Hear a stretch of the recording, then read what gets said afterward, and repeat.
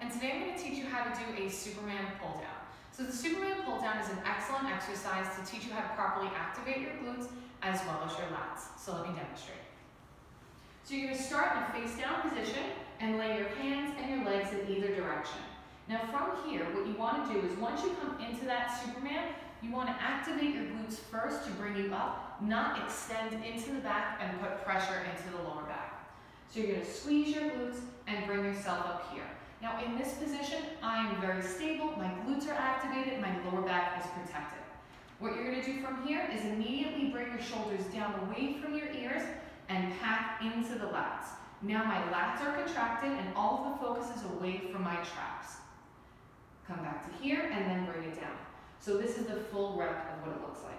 Squeezing the glutes to bring you up, Shoulders down away from your ears, packing into those lats, extending and bringing it down. Now, if you would like to intensify that movement, you're more than welcome to add some hand weights or some cables. And that is your Superman pull down.